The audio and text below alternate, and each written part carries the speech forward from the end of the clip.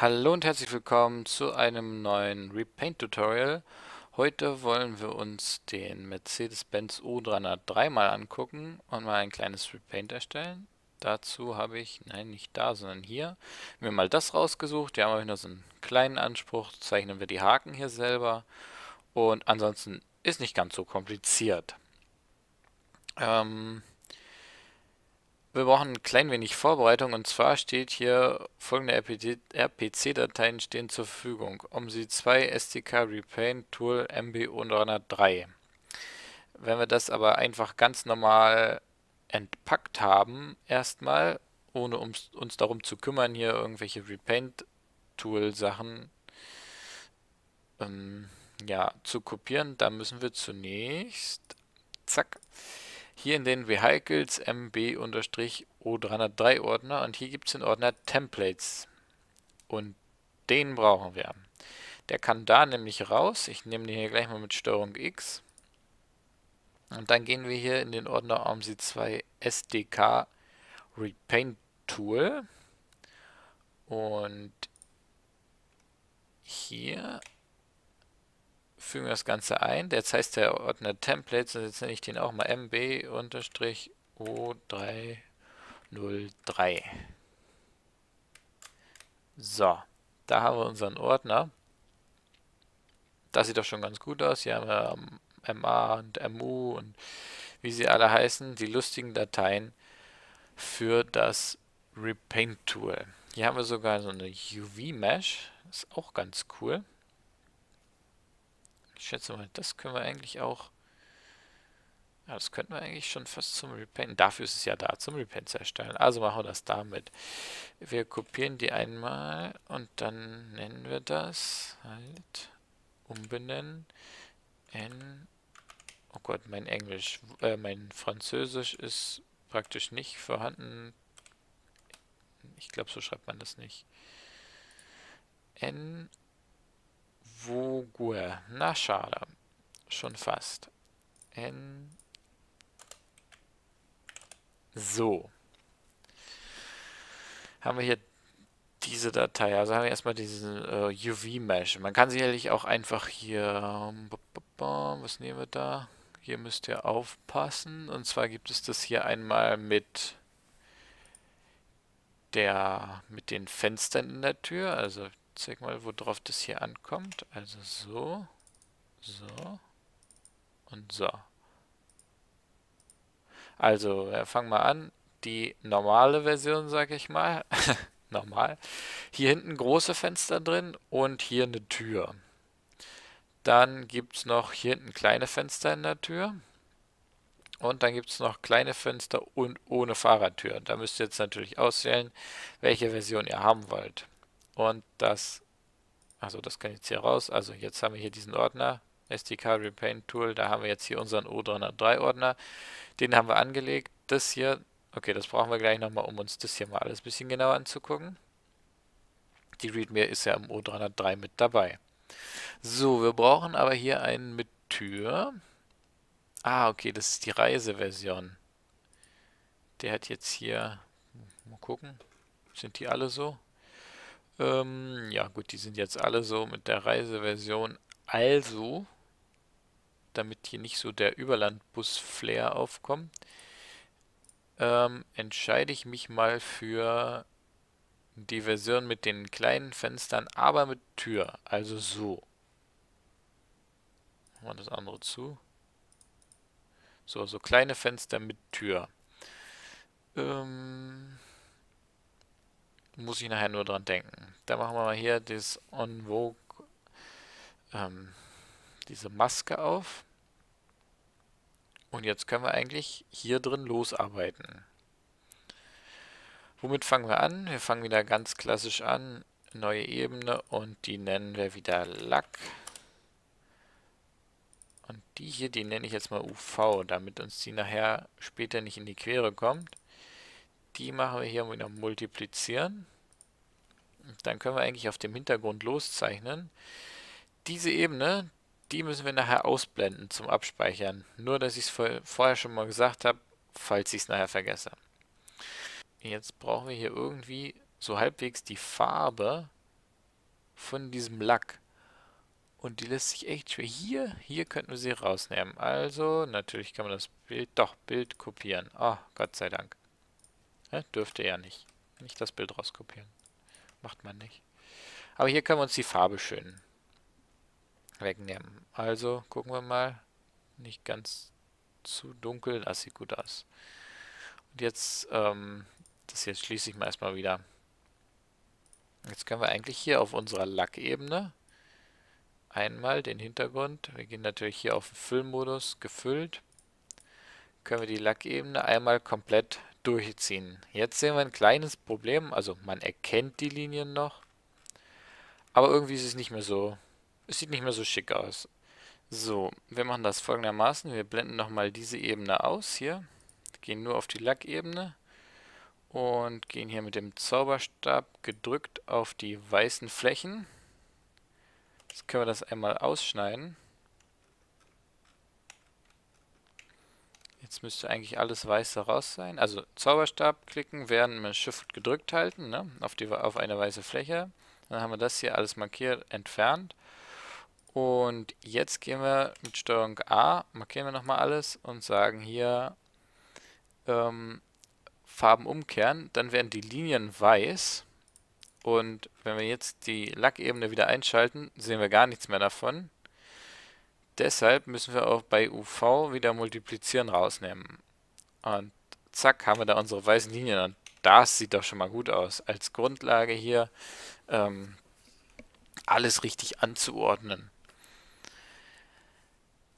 Ähm, jetzt können wir als nächstes uns mal so einen Haken zeichnen hier halt. Wie zeichnen wir jetzt so einen Haken? Cool wäre natürlich, wenn wir jetzt hier irgendwo eine schöne Aufnahme davon hätten. So schön. Ach, hier. Ja, hier kann ich einen so einen Haken kann ich hier rauskopieren. Bild kopieren. Das Bild brauchen wir eigentlich nicht mehr. Also können wir sagen, hier einfügen und das schneiden wir jetzt einfach zu, damit es nicht so doof aussieht. Ähm Vielleicht können wir ja einfach das Bild mit Steuerung R. Nee. Erstmal prüfen wir, wie groß die hier sind. Also hier ist so eine Luke. So groß ist eine Luke. So groß müsste jetzt hier auch eine Luke sein. Nee, passt nicht. Also brauchen wir so ungefähr das anderthalbfache, ne? Ja. Also sagen wir hier einfach wieder Steuerung A, beziehungsweise einfach gar nichts markieren, mit Steuerung R, sagen wir prozentual 150 Prozent. Und wir kopieren hier nochmal so eine Luke, fügen die hier ein. Oh, viel gebracht hat es nicht, ne?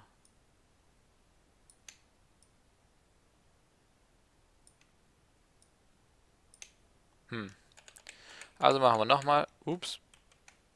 wenn ihr zu oft Steuerung Z gedrückt habt, mit Steuerung Y geht es wieder vor. Wir sagen hier einfach lieber nochmal Steuerung R und sagen mal 120. So, jetzt ist es aber hoffentlich groß genug. Wir müssen auch bedenken, die Klappe ist ja hier auch ein bisschen größer. Ja, das ist okay. Ich schätze mal, so können wir das lassen. So, Jetzt sind die hier natürlich relativ pixelig. Jetzt ist die Frage, wie nehmen wir die hier raus? Einfach so. Oh, das sieht ganz gut aus. Jetzt hier einfach mal einen... Achso, wir müssen jetzt natürlich hier ähm, drauf achten. Also UV-Ebene, Lackebene und jetzt brauchen wir natürlich wieder eine Aufkleberebene. Jetzt müssen wir gucken, wo machen wir die hin. Zeigen die immer nach hinten? Wäre jetzt eine gute, eine wichtige Frage. Hier zeigt er nach hinten. Ja. Ja, die zeigen immer nach hinten. Also sind die auf der Türseite sozusagen jetzt von uns aus gesehen gespiegelt. Also müssen wir auf dieser Seite anfangen. Oh, ich würde sagen, die können wir hier einfach so verteilen. Beziehungsweise wir machen das sogar noch so einfach und nehmen uns mit dem Zauberstab und Steuerung gedrückt halten. Nehmen wir uns jetzt die hier alle. Ne, die sind nicht schön. Das ist auch nicht schön. Ja. Ups. Nee. Okay, schade. Da, der geht noch. Ne, das Grün ist zu dunkel. Das ist zu hell. Das geht. Also immer Steuerung gedrückt halten, wenn wir die hier anklicken. Ja, ja. Das geht auch. Das geht auch. Grün war es wieder zu dunkel. Dann geht der hier auch. Also die. Die Farbe geht nicht. Die gehen. Grün geht nicht. Der geht. Das kopieren wir jetzt mal und gucken mal, wie das hier aussieht. Und dann füllen wir einfach die Lücken so auf, wie wir lustig sind. Ja, sieht doch verdammt gut aus. Mal gucken, wo die hier sind. Also die schließen hier mit der letzten Kante ab.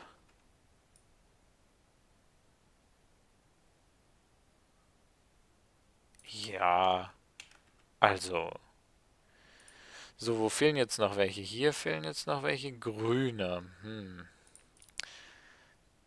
Also grün und beige fehlen jetzt hier noch, ne? Ja, grün, rot, grün, beige, gelb. Rot, grün, beige, gelb. Okay, dann müssen wir die jetzt hier einzeln irgendwie versuchen. Ah. Okay, der braucht noch ein bisschen Nachbearbeitung dann hier unten. Machen lieber so. Ich kopiere den mal und setze den hier auf eine neue, beziehungsweise, eigentlich ist das alles Quatsch, denn ich kann ja einfach hier den roten nehmen. Oder irgendeinen, der schön einzeln steht. Hier der blaue, der ist ganz so gut geworden. Den kopiere ich mir jetzt mal. Schön großzügig. Fügen wir den hier ein, vergrößern, ja. Schneiden wir das hier zu. Alles, was nicht zu dem blauen gehört, schneide ich jetzt mal weg. Und jetzt brauchen wir dieses Grün. Und jetzt nehmen wir uns einfach das Grün und sagen hier mit dem Eimer, zack, ausfüllen. So einfach geht das. Das fügen wir hier ein und jetzt müssen wir bloß gucken, jetzt überschneidet sich das hier natürlich. Und da brauchen wir einfach eine Zwischenebene sozusagen. Müssen wir ein bisschen gucken, wo ist das? Da. Oh, sieht doch schick aus. Dann nehmen wir uns einfach diese Farbe. Und malen das jetzt mit dem Fülleimer hier einmal aus. Beziehungsweise machen das mal rückgängig, nicht dass es zu groß wird nachher. Ja, Kopieren wir wieder, machen hier wieder eine neue Ebene, weil sich das sonst ja wieder überlappen würde. Und fügen das hier ein. Ja, das sieht gut aus. Dann können wir eigentlich die Ebenen gleich hier wieder alle zusammen matchen auf die Aufkleber. Dann gucken wir mal, dass wir hier den gelben noch irgendwie ein bisschen schöner hinkriegen, dass der nicht so abgehackt ist. Mache ich hier mal wieder rückgängig. Dann nehmen wir uns hier nochmal das Gelb raus. Fügen das mal hier ein. Das sieht auch wunderbar aus. Fügen das hier ein. Ne, natürlich brauchen wir wieder eine neue Ebene. Und jetzt müssen wir ein bisschen gucken, dass das hier so ein bisschen zusammenpasst. Ja, das sieht doch gut aus. Was haben wir hier vorne noch? Oh, hier sind noch so viele und die überlappen auch noch alle halt. Orange-Rot haben wir hier. Orange-Rot. Da kommen noch einmal wieder Weiß und äh, Grün und Beige. Dann machen wir nochmal das Grün. Beziehungsweise wir nehmen mal lieber von hier das Grün, damit es ein bisschen ähnliche Farben hat. Ich mache das hier immer wieder rückgängig, nicht, dass wir da irgendwelche Folgefehler drin haben. Ehehe. Warum hat es nicht genommen? Ah, weil wir hier noch die falsche Ebene haben. Ich füge die mal gleich wieder zusammen. Dass wir hier nicht 1000 Ebenen haben. Und hier mit dem Eimer wieder zack. Steuerung A, Steuerung C. fügen wir das hier ein. Natürlich nicht auf dieser Ebene, sondern wieder eine Zwischenebene.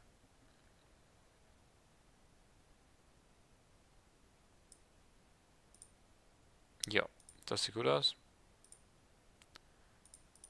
So, machen wir wieder rückgängig. Jetzt brauchen wir das Beige wieder. Hier wieder die Ebene erstmal zusammenfügen. Hier das Beige rausklauen. Ja, das hat geklappt. Und Fülleimer, zack. Kopieren. Und hier wieder auf der Zwischenebene einfügen. Ne, so ungefähr sieht es da aus. Ups. Ja, sieht gut aus. Sind hier noch mehr? Ah, hier ist noch ein roter. Dann machen wir jetzt einfach einen roten. Beziehungsweise der hier sieht jetzt auch nicht so pralle aus.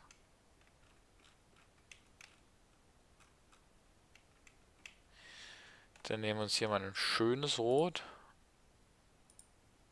Achso, natürlich wieder die Ebenen zusammenfügen. Aufkleber wieder zusammengefügt. Und hier mal einmal rückgängig. Mit dem Eimer, halt, das ist der Pinsel, mit dem Eimer einmal das Rot vernünftig. Und das fügen wir mal hier wieder die Zwischenebene. Das können wir hier unter gleich nochmal rauslöschen. Mit dem Radiergummi auf die Aufkleberebene. Da machen wir den Radiergummi einfach ein bisschen größer und nehmen das mal hier drunter weg. Es ging ja nur um die Position. Und hier fügen wir das wieder einmal zusammen und wieder eine neue Hilfsebene. Und hier fügen wir das da ein. Jetzt machen wir das aber mal so, dass wir hier erstmal soweit das Orange rausradieren wieder.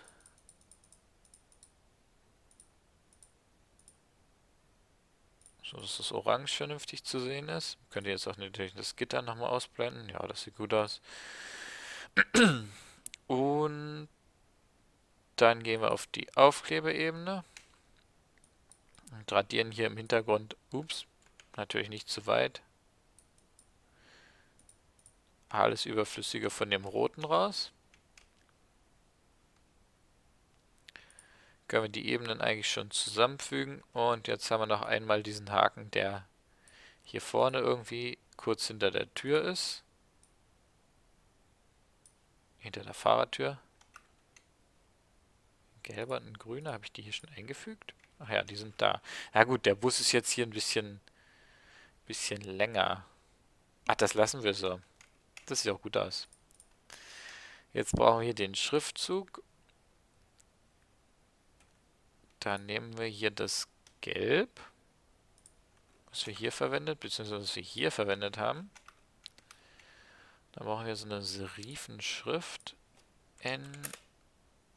Wo. Ne, jetzt machen wir es größer. 72, das könnte passen. Und jetzt brauchen wir eine schöne Serifenschrift. Die sieht doch schon gut aus. Fett. Ah, es sieht aus wie das Original. Nee, das I ist nicht schön. Also...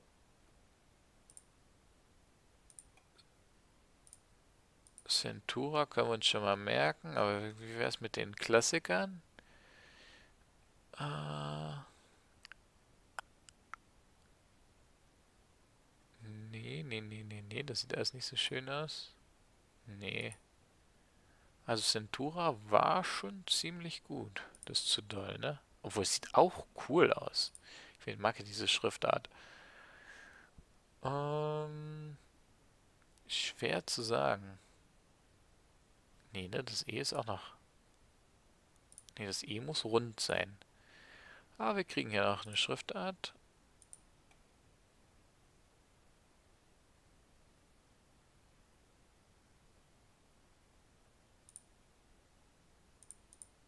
Ne, warte mal, was hatten wir vorhin?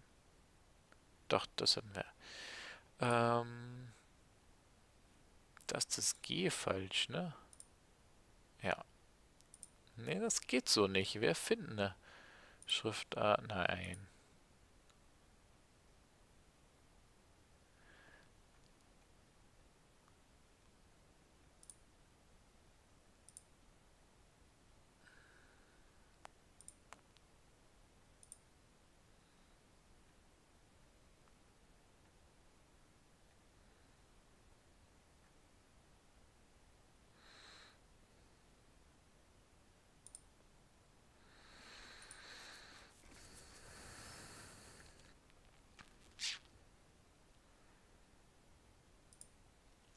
Ist zwar nicht perfekt, aber die nehmen wir jetzt einfach trotzdem. Gehen wir mal auf 84. Und dann gucken wir nochmal, wo die hin, wo das genau hinkommt. Ach, es muss gar nicht so groß. Und die Lücke ist ungefähr, das V fängt am zweiten Fenster an. Das kriegen wir hin.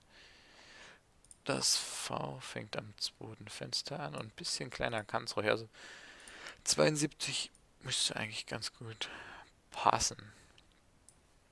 Das sieht doch toll aus. Ich bin stolz auf unser Repaint. Den Schriftzug, den nehme ich jetzt einfach und guck mal, wo der auf die andere Seite kommt. Äh, das fängt hier am zweiten, also A, B, C, naja, zweite, also Ende zweites Fenster fängt der Schriftzug an passt natürlich auch wieder nicht 100% genau. So. Und für das hier...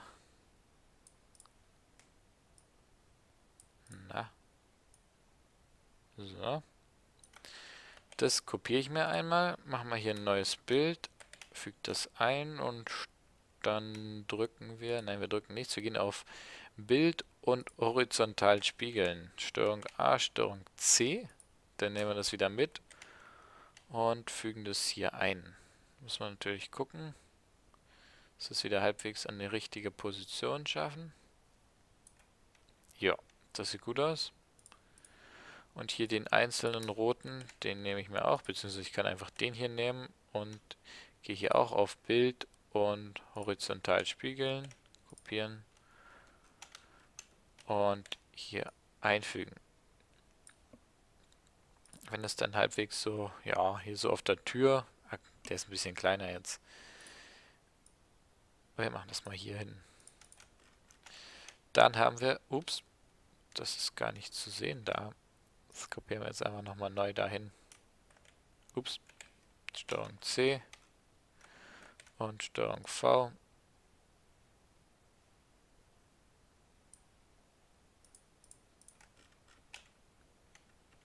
Und so haben wir unser Repaint schon fast fertig. Mal gucken, was das Heck sagt. Irgendwo habe ich auch noch da, habe ich noch ein Bild vom Heck. Das ähm, ja, sind einfach irgendwelche Haken aus der Mitte gegriffen. Gibt es hier irgendwo blau, rot, orange? Blau, rot, orange? Ne. Das ist natürlich wieder eine komplette Eigenkreation. Erstmal machen wir Ne, jetzt machen wir erst die Haken. Blau, Rot, Orange.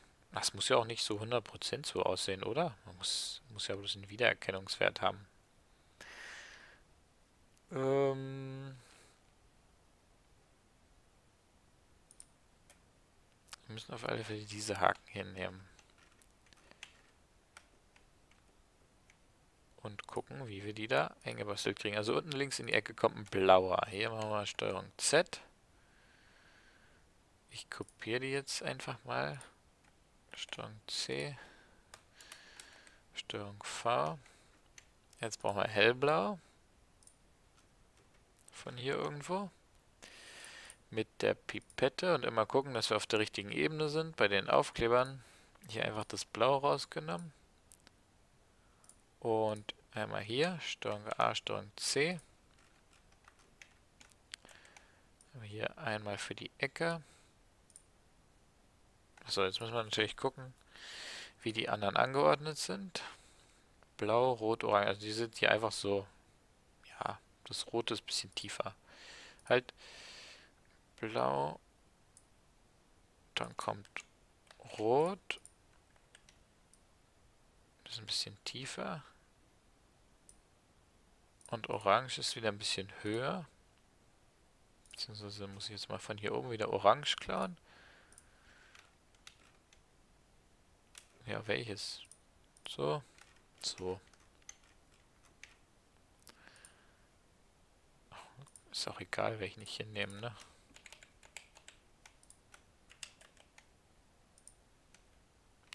Jetzt brauchen wir wieder eine neue Ebene, weil sich das ja sonst hier so überlagert.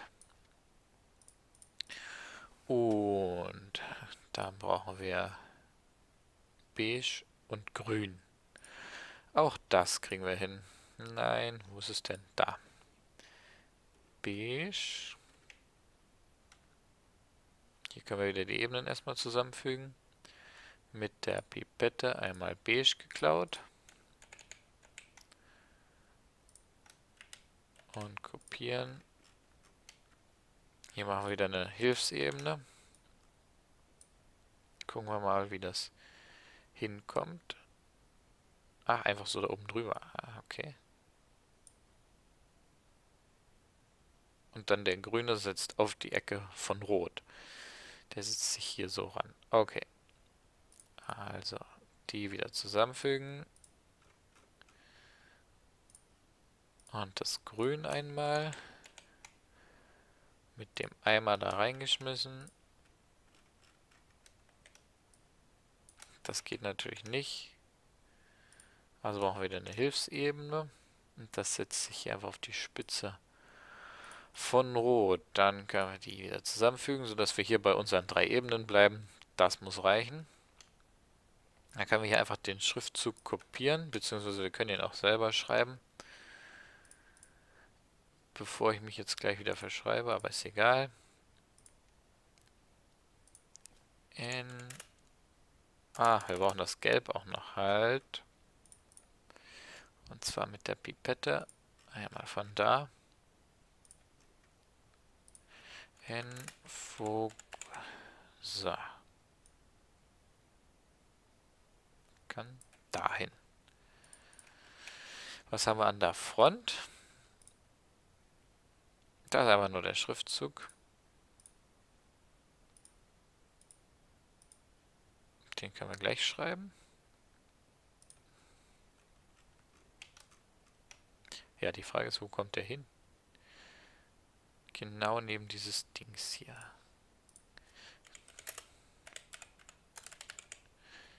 Ähm, warum schreibt er nicht? Ja, jetzt. Also einfach mal wegklicken mit dem Auswahlwerkzeug, falls das irgendwie mal nicht klappen sollte, wenn ihr irgendwas noch aus Versehen markiert habt. So, dann brauchen wir einen roten und einen grünen Haken. Den grünen habe ich noch hier. Der muss natürlich kleiner. Wir machen den mal nur Steuerung R. Für Größe ändern mache ich den mal auf 50%. Wieder kopieren und hier einfügen. Das muss reichen. Und dann brauchen wir nochmal die rote Farbe. Mit der Pipette hier einfach rausgegriffen. Und dann machen wir das Ding einfach mal rot. Kopieren. Einfügen. Natürlich müssen wir auch hier wieder mit einer Hilfsebene arbeiten. Ein bisschen höher, ne? Nee, ein bisschen tiefer sogar. So.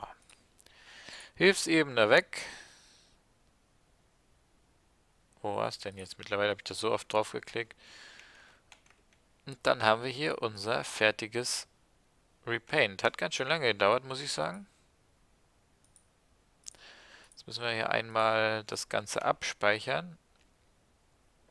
Und nehmen hier einfach dafür die PDN. Und für das Repaint Tool machen wir einmal Steuerung Shift S oder Datei speichern unter und wählen hier aus BMP speichern auch das und zusammenfassen. Dann können wir hier eigentlich alles schließen. Brauchen davon nichts speichern, also ich zumindest nicht. Dann gehen wir in das Repaint Tool. Klicken auf Convert. und klicken dann hier im Repaint Tool Ordner auf den Ordner MBU303 und da müssen wir jetzt nochmal ganz kurz gucken, welche Version wir nehmen wollten. Also 303 und hohe Fenster mit Tür. Welche war jetzt mit Tür? Die ist ohne Tür. Das ist mit Tür. Und wie heißt das? KHPL und ach Fahrradtür, FT für Fahrradtür und tief verglast, okay, hochverglast, Fahrradtür hochverglast. Keine Fahrradtür, keine Fahrradtür, Radkappen. Ja, Radkappen habe ich jetzt hier keine. Waren die da auf dem Dings mit drauf? Ja, ach ja, sind ja jetzt auch blau, klar. Also Fahrradtür hochverglast. halt. Oder ist das andere? Heißt, bedeutet das andere hochverglast hier? Nee, wo ist denn das hochverglast hier? Da. Boah, hoch von wegen eine hohe Scheibe oder hoch von wegen fängt erst oben an? Ich weiß es nicht. Ich nehme jetzt hier einfach Fahrradtür hochverglast und wähle das hier aus, sagen ja, Convert Und dann können wir uns mal unser Repaint angucken. Das fertige, ja, das sieht gut aus. Also ich kann jetzt, weiß ich nicht, ob ich es noch größer bekomme, aber doch, hier sieht man es. Also die kleinen Fenster sind drin. Man kann sich das ja hier leider nicht so angucken. Und wisst ihr, was wir vergessen haben? Wir haben hier noch dieses äh, UV-Mesh drauf. Also einmal in die PDN zurück. Ähm, UV rausnehmen, Steuerung Shift S, also speichern unter und BMP. Speichern, jawohl. Und zusammenfassen und wir wollen, genau, überschrieben haben wir schon. Das können wir auch zumachen.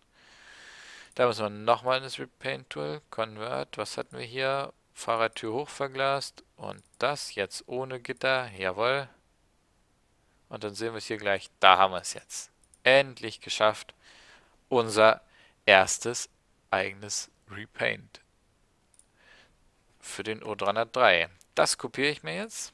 Und dann wechseln wir hier wieder ins Verzeichnis Vehicles, also OMSI2 Vehicles MBO 303 auf Texture, Repaints.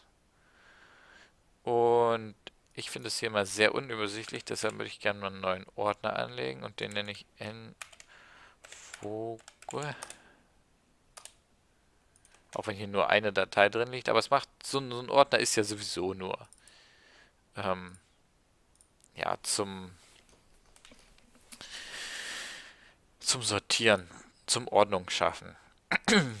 Dann haben wir hier die H, äh, VHH CTI, die kopiere ich mir einfach mal. Und die nennen wir auch NVOG Wie oft ich das jetzt noch schreiben muss. Wo ich kein Fan der französischen Sprache bin. Deshalb kopiere ich mir das jetzt hier einfach. Und ich habe eigentlich nur Farbschema Text 1. Alles andere kann raus. So, wir wollen Radkappen haben. Wir wollen Glastür haben. Nein beziehungsweise wir gucken jetzt einfach mal hier rein, was wir denn hier noch so einstellen können. Also, Radkappen. Okay, das ist ein bisschen verwirrend. Ich packe das mal hier nebeneinander. Wir haben Wiss Radkappe 0. Natürlich wollen wir Radkappen dran haben. Dann Almex. Wir wollen den Almex Drucker. Ja, also Set war Fis Almex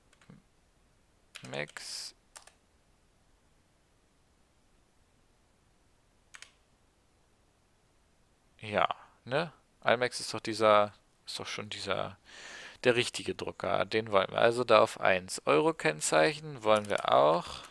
Set war Vis Hoffentlich verschreibe ich mich nicht. Euro, Euro, Kennzeichen. Schön langes Wort. 1 ist mit Euro-Kennzeichen. So, Gardinen. Ach, wollen wir jetzt nicht. Wichtig ist Glastür, hochverglaste, tiefverglaste. Hierfür bitte Texturtausch beachten. Also brauchen wir die Glastür 0. Die hochverglaste wollen wir nehmen. Sterne sollen dran sein. Frontblende Kunststoff brauchen wir nicht. Oder brauchen wir die? Brauchen wir die? Ne, da ist alles lackiert. Ähm, Fahrradtür wäre noch wichtig. Das das letzte Set war. Ah ne, Fiss Fahrradtür 1. Ne? Weil wir eine Fahrradtür haben wollen. Und hier müssen wir natürlich noch das ändern. N unterstrich N Nee, so N nicht mit dem Strich, das mache ich immer gerne falsch, sondern mit dem Strich. Auch wenn OMSI das nicht so stört, das ist trotzdem besser, man nimmt den richtigen Schrägstrich. So, dann haben wir hier eigentlich alles eingetragen, was wir brauchen. Und dann gucken wir uns den ganzen Spaß jetzt noch in OMSI an. Ja, da habe ich eben extra noch ein vorbildgetreues Kennzeichen rausgesucht, auch wenn mir irgendwie die Kennzeichenfont nicht so gefällt. Das passt irgendwie nicht. Die müsste viel größer, viel höher sein, finde ich. Und irgendwie sieht die auch nicht kennzeichenmäßig aus. Na, ist egal. Es geht ja jetzt ums Repaint und wir haben es geschafft. Hohe Tür, Radkappen dran. Äh, was haben wir noch eingestellt? Mercedes-Stern drin, Fahrertür dran. Die geht auch auf, ist ja klar. Ähm, ja, und unser wirklich gelungenes Repaint, bis auf dass die hier ein bisschen höher sein könnten, ist das doch echt schick geworden, unser Repaint. Also ich muss sagen, warum auch immer die Stoßstange jetzt hier vorne doch grau ist. Wahrscheinlich hätten wir das noch abschalten müssen. Egal. Ähm, unser Repaint ist gelungen und ihr wisst jetzt, wie es funktioniert. Und dann wünsche ich viel Spaß beim selber machen. Bis zum nächsten Video. Tschüss.